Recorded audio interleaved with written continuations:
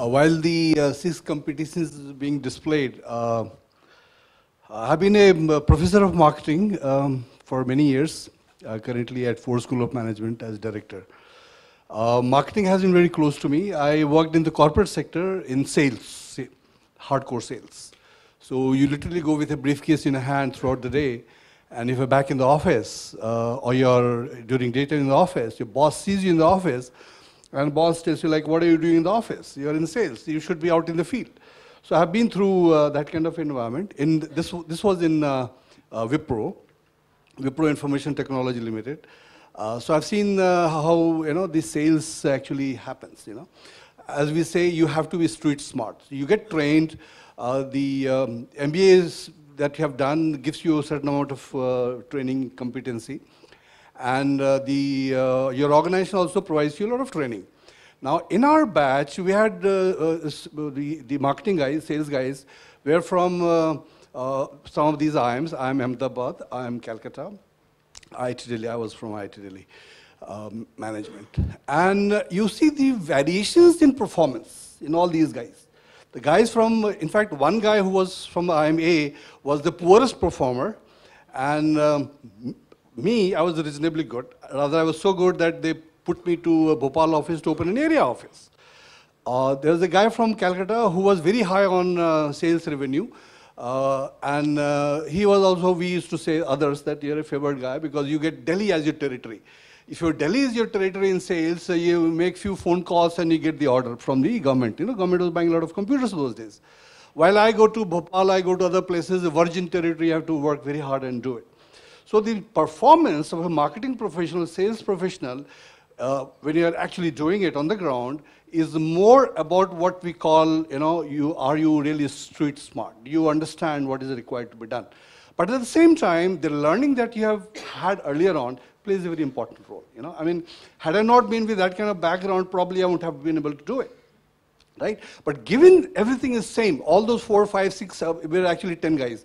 10 guys more or less similar background, then you see performance difference. One guy is at a 10 point rating, the other guy, uh, the worst guy could be at a three point rating. So how is that difference happening? Which means there's some element of competency which is lacking in those guys who are underperforming, right? So therefore we need to uh, uh look at those uh, aspects. Uh, I don't know how much time I have. Can I continue speaking? Okay. So professors are dangerous species. Huh? They have to be stopped. Uh, so uh, when you look at those kinds of performance, so, you know, when I go back and see uh, how this was happening. So there are few things, for example, uh, in the job situation, a few set of guys are very friendly with the boss, and a few set of guys are not so friendly with the boss, right? The guys with the friendly with the boss uh, does things in a certain way and finds it easy to meet the target. The guy who's less friendly with the boss also meets the target, but meets the target hard way, right? Now, these things are not taught.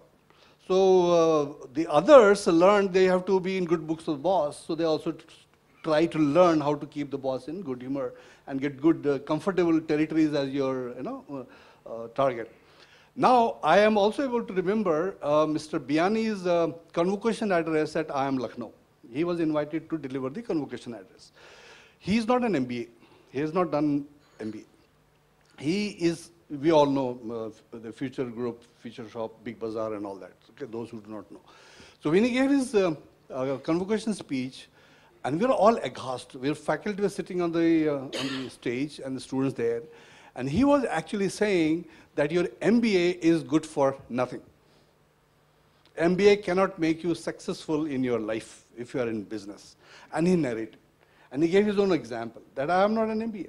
In fact, I do not hire guys from the IIMs because I see them, uh, you know, not able to deliver to my expectation. And then he narrated what are the skills that you require to be successful in business. When it comes to uh, uh, generating revenue, uh, you have to understand. So uh, marketing actually focuses on uh, how you should ensure the revenue comes in. Now the people who have not done this management education versus those who have done, there was a study done, uh, I think it was economists some of these um, magazines done it. They said that of all the billionaires in the world today, uh, 70% uh, do not have a management background. In fact, 70% do not have a graduation background, forget management background. Billionaires, okay? Only 30% have professionals. And of all these 100 people, how many are second generation uh, billionaires and how many are first generation billionaires? So they said the second generation billionaires are about uh, roughly the reverse, you know, 70, 80% the second generation. They were and a very small percentage as the uh, first timers. But among all those people, 70% didn't have that kind of a management background. So this guy, this article was saying that what is it that is required for you to, you know, reach that commercial success? And it came down to entrepreneurship.